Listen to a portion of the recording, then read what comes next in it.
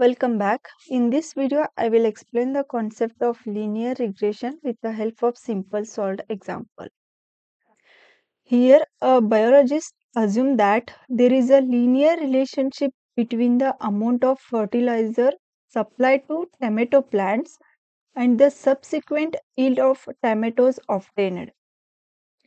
So here we will consider eight tomato plants were selected at random and they were treated with a solution in which x grams of fertilizer was dissolved. The yield y kilograms of tomatoes was recorded. Here we need to find the equation for linear regression of y on x. After finding the linear regression, we need to estimate the yield of the plant treated with 3.2 grams of fertilizer. This is a given data set. In this we consider 8 tomato plants from A to H and uh, X is an independent variable and Y is a dependent variable.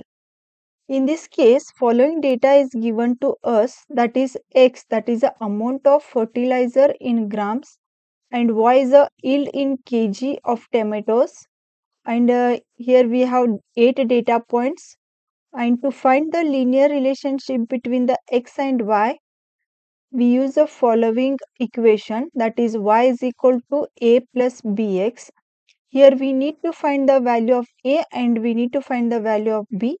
To find the value of a and b, we use the following formula that is b which is equal to n into summation of xy minus summation of x into summation of y divided by n into summation of x square minus summation of x bracket square. And to find the a, we use the following formula that is a which is equal to summation of y minus b into summation of x divided by n. So, to find the a and b values, we need summation of xy, summation of x, summation of y and summation of x square. So, first we will find the summation of x that will become 22 and the summation of y will become 48.8 and here we need the summation of x square. To find this one first we will find the x square. Then we will add all the values. So we will get the summation of x square. So that will become 71. Similarly we will find the summation of xy that is first we will find the x into y. Then we will add all those values. So we will get the summation of xy as 146. So once you find all the required values, we will uh, put those values in these two equation that is A and B equations.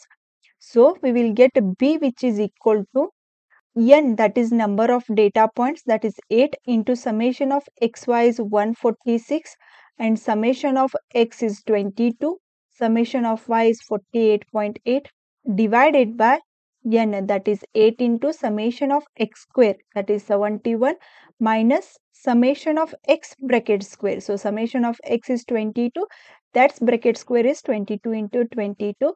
So, once you do the simplification of this one we will get b which is equal to 1.105. Once you find the b value next we need to find the a which is equal to summation of y minus b into summation of x divided by n so which is equal to 3.061. Here we found the value of a and b. Now we will replace these values in the linear regression equation that is y is equal to a plus bx.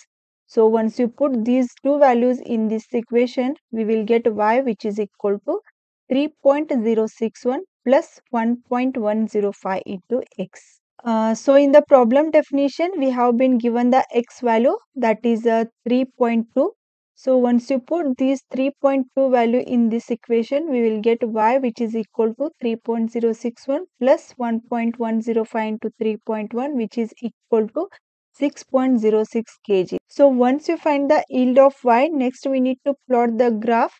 Here in on the x-axis we will consider the fertilizer and on the y-axis we will consider the uh, tomato yield. For the x 3.2 we will get the y value as 6.06 that is what you can see here this is how we can find the linear regression equation and we can predict the yield for the given value i hope the concept of linear regression is clear if you like the video do like and share with your friends Press the subscribe button for more videos. Press the bell icon for regular updates. Thank you for watching.